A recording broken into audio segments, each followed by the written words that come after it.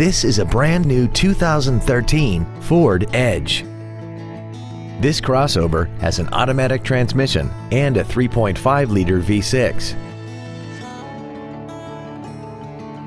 Its top features include XM satellite radio, traction control and stability control systems, big 18-inch wheels, and a tire pressure monitoring system.